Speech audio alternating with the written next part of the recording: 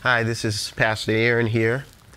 And uh, this week we want to talk about the word identity. Remember, you recall that we talked about this idea of living the adventurous life, that when we walk with Jesus, uh, there's never a dull moment. But here in this particular passage in Matthew chapter 4, verses 1 through 11, Jesus has been fasting for 40 days and 40 nights. Uh, he's weak, and Satan comes to tempt him. The interesting thing is that the scripture says that he is led uh, into the wilderness in desert territory by the Holy Spirit. I think sometimes God uh, tests us, and I think Jesus at this point is modeling what it looks like to live in the in between time of Christ's first coming and his second coming. So he's modeling for us. How do you wait? How do you wait on Jesus coming? So we find here Jesus is being tempted by Satan and he confronts Satan with scripture. And he tells him, if you are the Son of God, command that these stones become bread.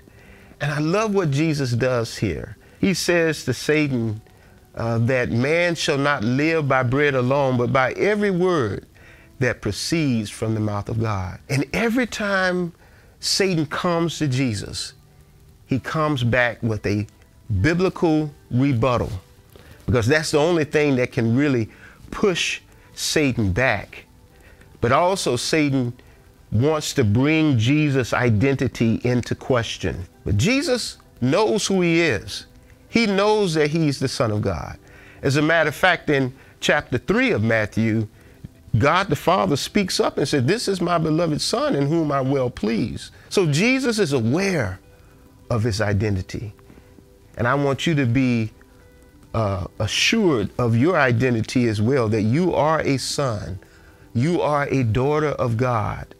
And there will be times that Satan will bring up your identity and question whether you are a child of God. Be affirmed today that you are a child of God. And next week we're going to talk about rest. So I look forward to seeing you on next week.